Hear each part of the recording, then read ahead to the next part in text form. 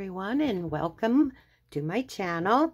So today I'm working on a new journal and I want to put some coffee filter pockets, maybe some envelopes, maybe uh, um, some belly bands. Anyways, I wanted to show you how versatile um, coffee filters are.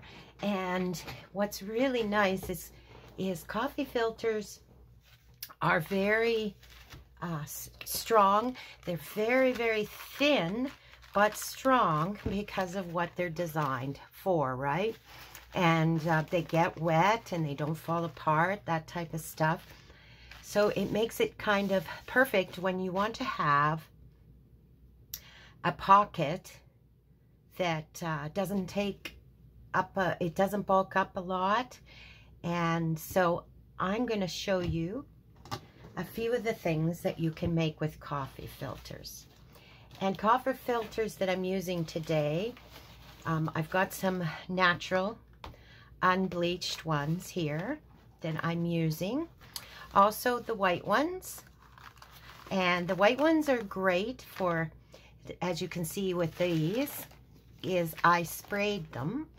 And they take sprays and color from sprays and uh, dyeing uh, really well because again they're designed for wetness and um, so I'm going to show you a few ways to use them.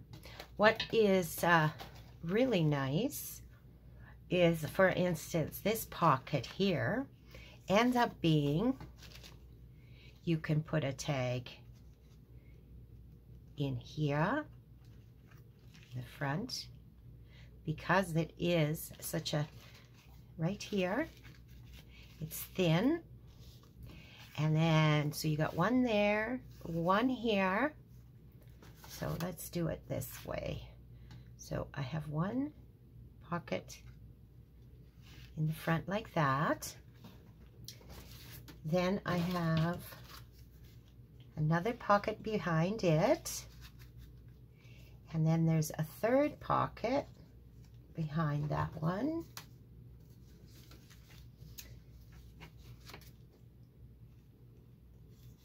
Right there. These are not the right uh, size ones, of course. And because uh, I would put a longer one in that pocket. And then when you glue it in, you have another pocket right there. So in the end, you have four pockets in this small po um, pocket here that is not bulky. So that's what I really like about the um, coffee filters. Okay, so, and as you can see, they spray and also take ink really, really well as I have uh, stamped these ones to, for my book. Here, I want to put these in my book, and I have a leaf theme going on in this book. So let's uh, let's make a couple here to show you what I'm doing. So the first thing is this pocket here super simple. You basically fold it in half. Right? And then you fold it in half again. And depending where you want your pockets, how large or how close together or how far apart will be how you fold it. And that's all there is to it. So you can leave it just like that. And you, again, you got the pocket here. And you got a pocket there. Um, another pocket right here in the middle. And then a pocket here and a pocket here. Now in this particular book, I want to have some teared edges on my pockets. So I'm just going to fold it completely in half and tear off some of the end of this. And again, it all depends how much you tear off and how big your pocket will be. So I'm just going to tear just like this because I want the rougher edges in this book.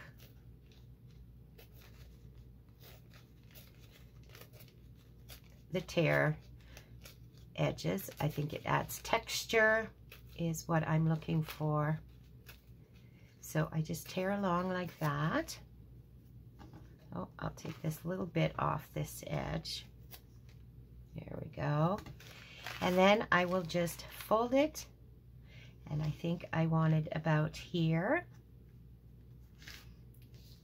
And then you can either glue it or sew it. This one here, as you can see, I have sewn it. And I just use a zigzag. But if you were gluing, all you do is just glue it in the one spot at the very bottom is you just place whoop, on the shorter pocket place your glue just like that and then fold it over and there I have a pocket a four tag pocket and uh, I am going to sew this for this book because I want it sewn is what I want to do. So that's one pocket that you can make. Now another pocket, and let's make it with this one here, that you can make is a pocket like this. And again, I'm going to just gently fold it. And I want to have a teared edge on it. So, oh, I see what I did. Actually, I folded it in first before I tore the edges of this one. So, you just fold it in on one side. And uh, the most difficult part of this is making sure to try and get them as even as possible. So both sides are basically the same. And this one here, that's too wide. So what I'm going to do is I just bring it in because I want to, you can actually put three tags in this one if you overlap, which I want to do. So I think that would be about right. I think. So I just gently do that to begin with because I may want to readjust it in the end because I did not bring it in far enough to my liking. And I did, so I'm good with that. So then I just crease down. So you do not have to tear your edges like I did. Um, and you can certainly just glue it, but I sewed as you can see on this one, I sewed down this side and down this side, and I will do that again. But for the video, all I'm going, whoops, first of all, I want the teared edge. So all I'm going to do is tear along the edge here. Now I didn't want it inside pockets to be torn because I want them clearly defined and know where I can put my tags. And the tags won't catch is what I'm thinking is why I did it that way. Um, I was thinking if I teared it along, well, I'll show you with this one.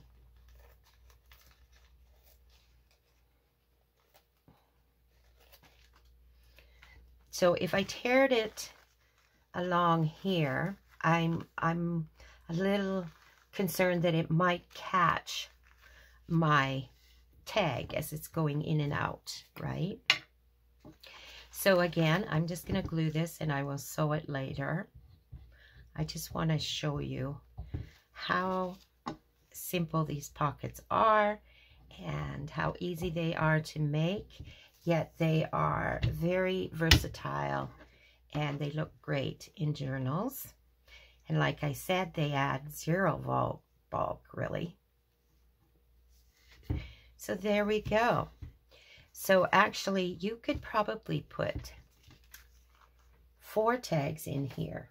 So I'm going to show you. I just have some tags over here that I'll use for example. Um, so we have one that can go in here, right? And then we have one that can go in, well, we'll use that for the very front one. And then we can put one in here. So that's two tags we can get in here. Again, these are not, I would layer these tags a lot better than this is for an example. And then you've got a third one you can put in there. So this is, and then when you glue it in, you can glue it just the three sides, right, into your book.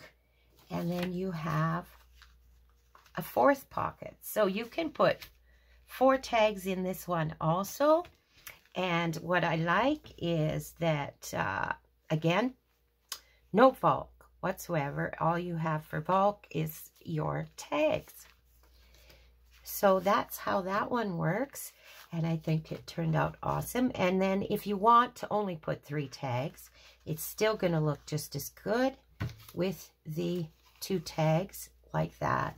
And then your third one in the back, right? So that's wonderful. So those are two the two pockets that I'm going to be using today.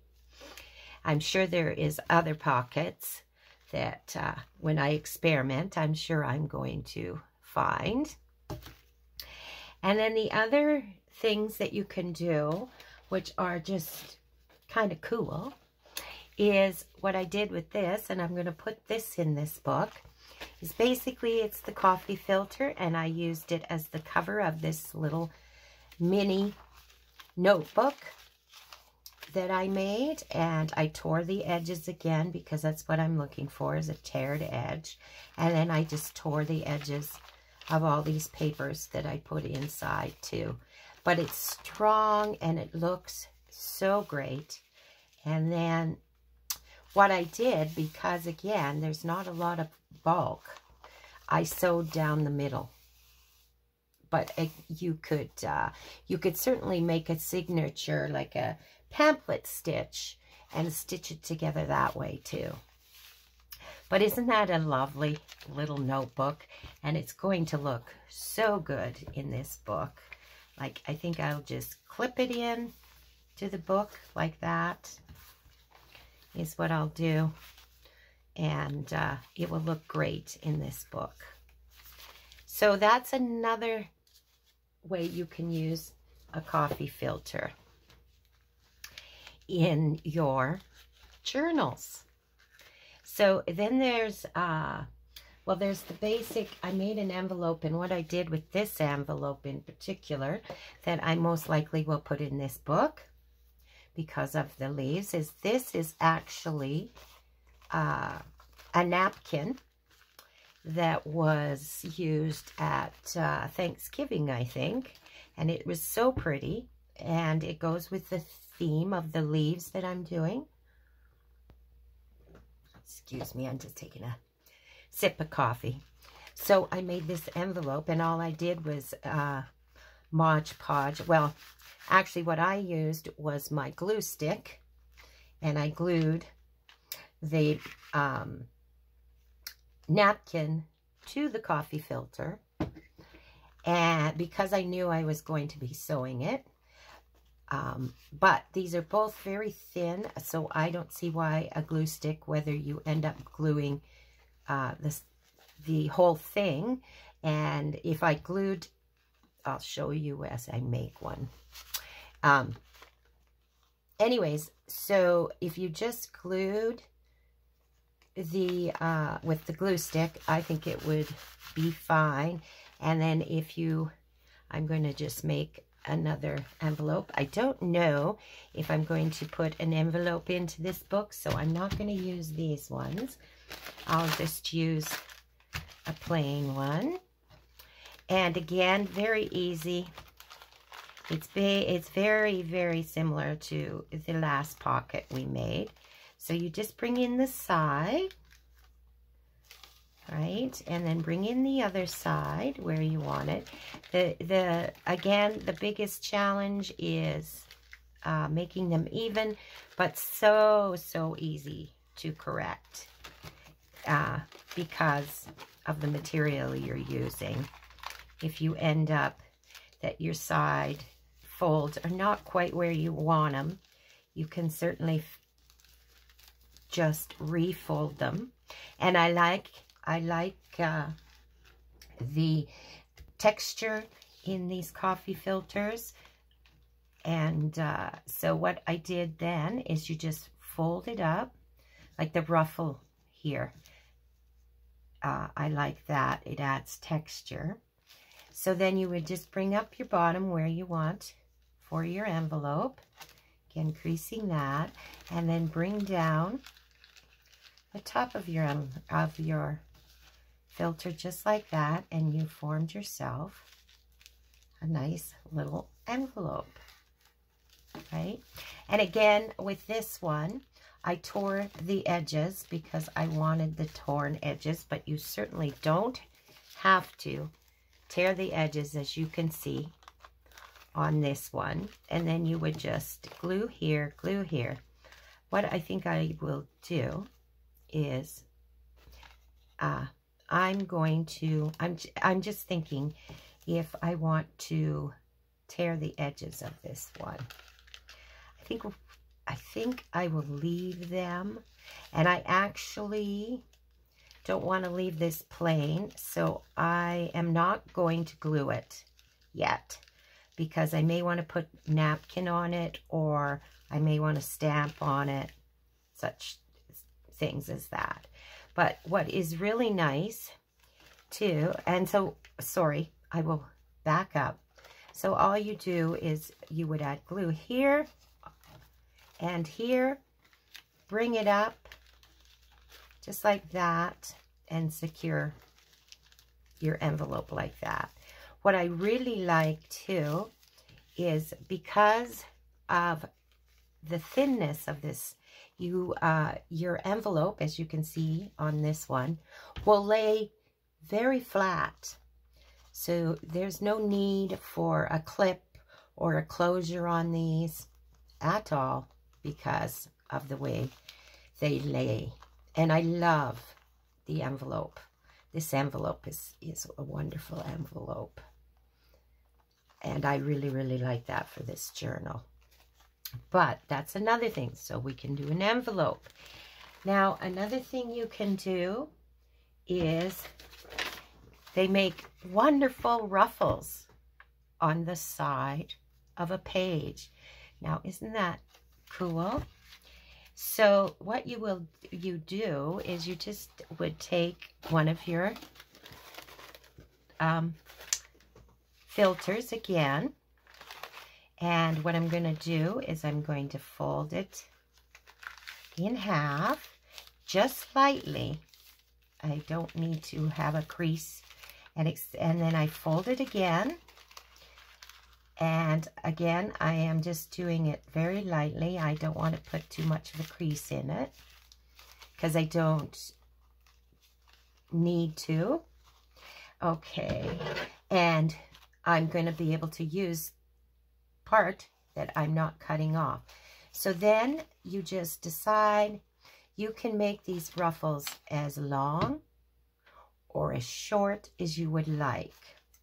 So I think I'm going to make a shorter one.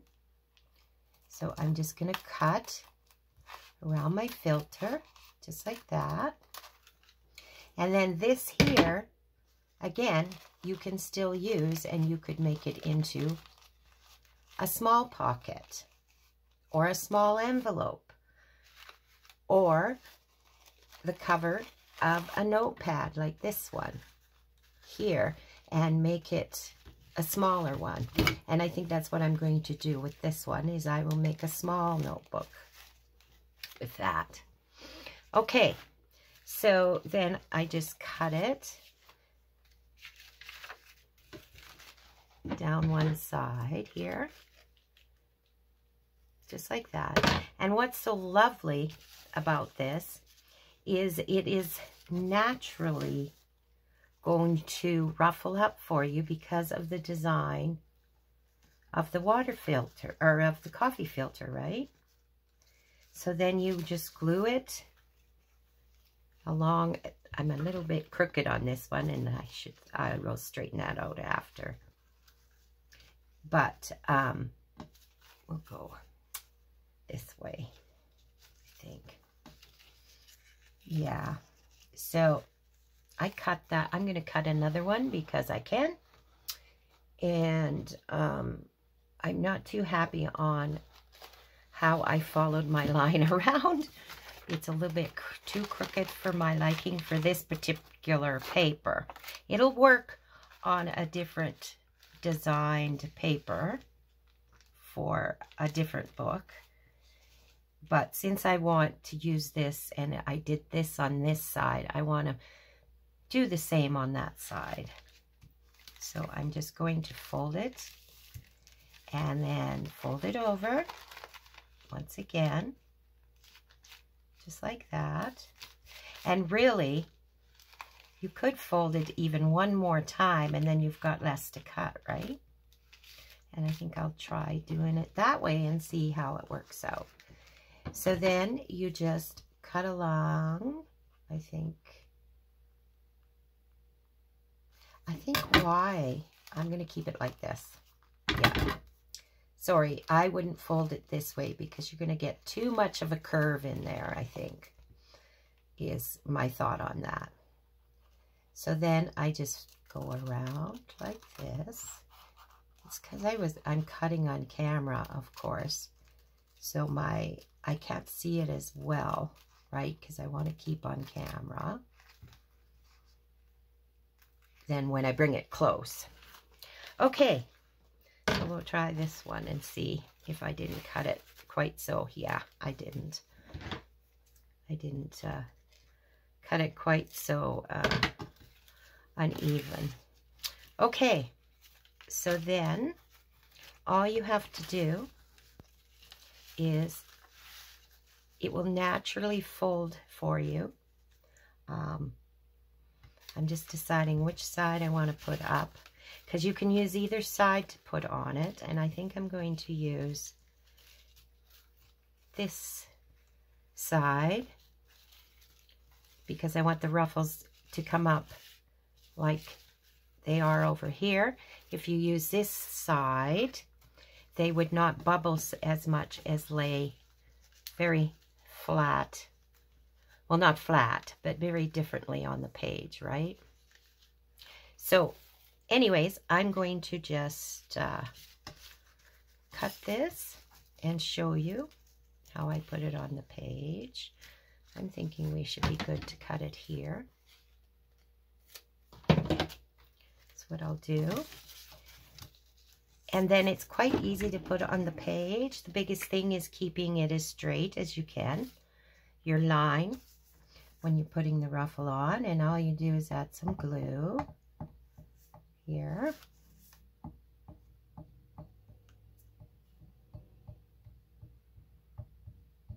Along the edge. And then all you do is take your piece of paper and you can start at either end whichever is comfortable for you. Sometimes being left-handed, I do it different than you would see a right-hander do it. So I'm going to start at this end. I No, I'm going to start at this end. That's what I'm going to do. So then I just lay it on, just like that. And then just uh, press down the edge at the bottom. Try and keep it as straight as you can. Meaning the edge as straight as you can. And then see how it's just naturally uh, ruffling for you. It's just the nature of the paper to ruffle up. So I just go along and uh, that one I There we go. And so you just put it down like that.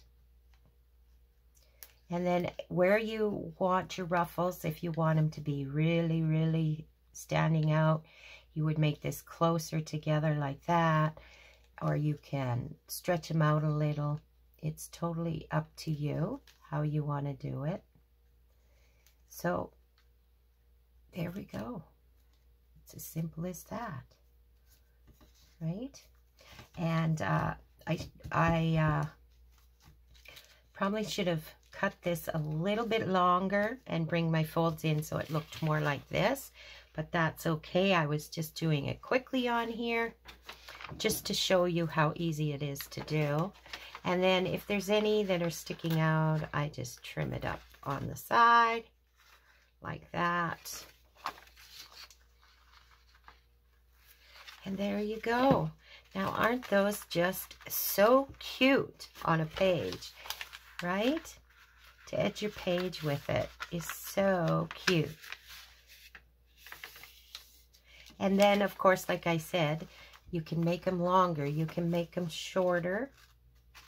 Um, and as you can see on this one, I brought, I, I made bigger ruffles on this side than I did on this side. This one is more rougher, not so even, and I just let it flow on is what I did on that side.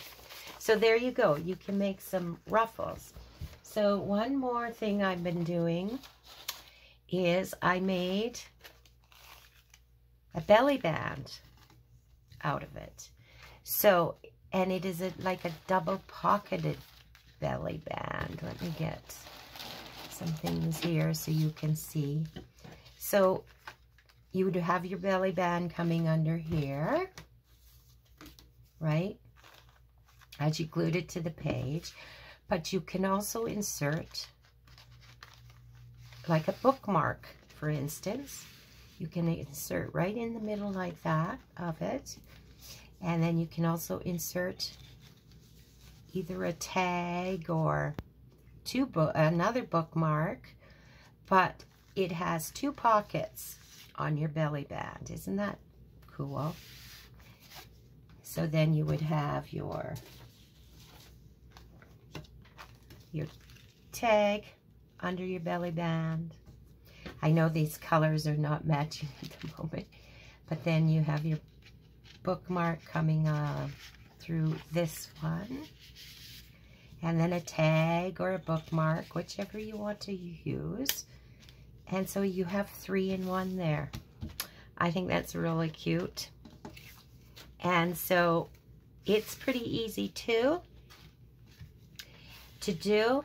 There is just one thing that I wanted to show you that uh, will help with making this belly band. What I have done is you fold it in. So what I'm doing is I'm basically folding it. Uh, the ruffles come to this circle here. So just for a guidance, I'm folding it in this way, right to the end of the circle in the middle. And that's just to give me uh, a an eye place to go. And then I fold in on this side this way. And then I just make sure both ends are pretty even. Just like that. Is how I will fold it. And then when I have that folded, like such. And again, this one here, the ruffles is out of it. And I think it's because I might have sprayed this. But you certainly don't need to do that. You can also iron them if you want. Um, but uh, now what I do is I take and I reverse these because I'm sewing this and I want to be able to catch the end of this with my sewing machine when I sew around it. So it catches this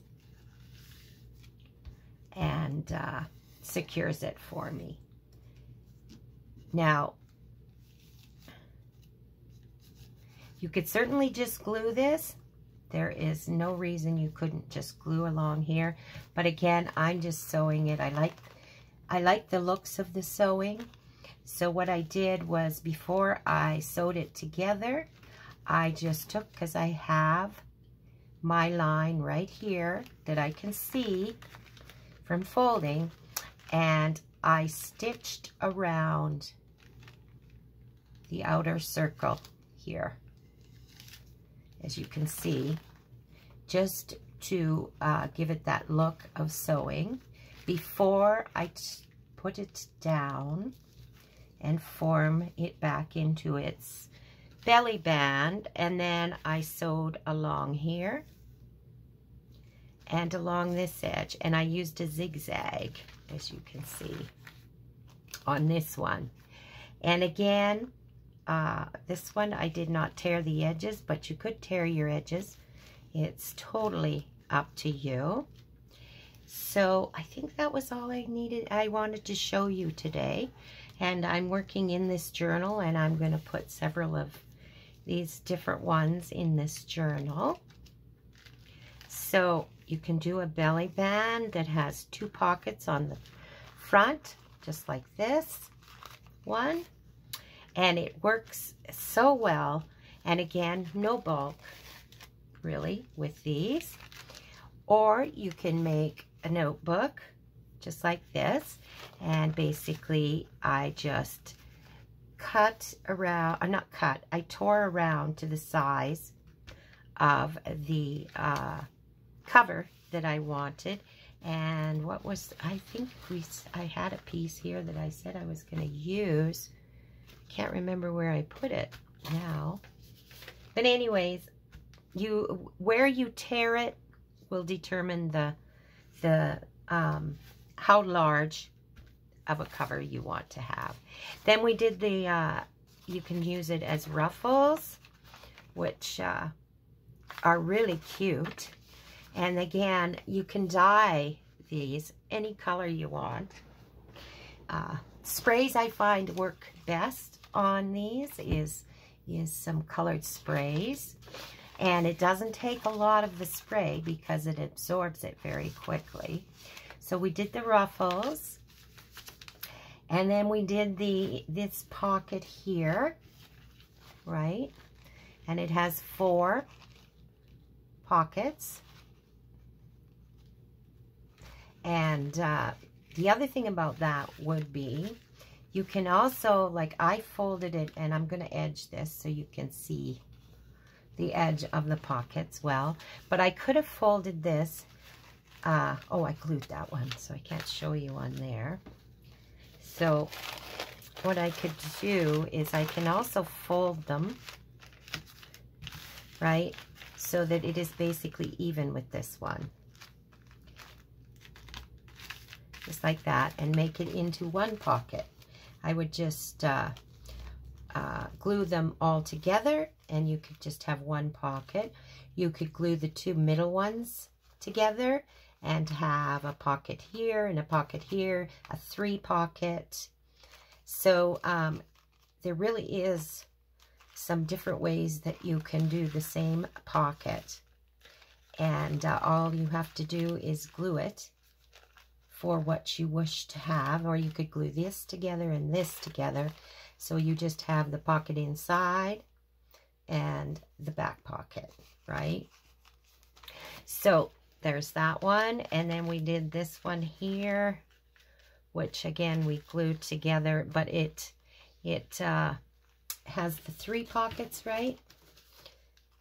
Or four pockets. So you can what? A tag here, tag here, another tag here, and then your back tag, right? And then there's a tag here. So you have four pockets, or you can just put a one here and then just use that one and the back one and you have a three pocket And you could even, uh, if you choose to do the three pockets, you could glue these two in here together on the edge if that's what you wanted to do. So then we had one more. We had the uh, envelope, right? And again, very simple. It's just the technique of folding it right is what it is all about. And then we had the ruffles and we had the envelope. I can't find where I put that. Oh, there's the envelope that I, I didn't want to decorate yet because I don't know where I'm going to use it. And then we had the belly band. So that's it for today, guys. And I just wanted to show you some of the ways that you can use a coffee filter. And they're very inexpensive and you can find them almost any grocery store or dollar store. That They're just accessible everywhere. And they're something different and unique in your crafting world for your journals. So I hope you enjoyed that and that uh, I showed you some things that you may utilize in your own journals. And we will see you soon. And please don't forget to like and subscribe. Uh, press that notification bell and it'll let you know when I'm putting up a new video. And you all have a lovely, lovely day and a crafty kind of day. And we will see and talk to you soon. Bye for now.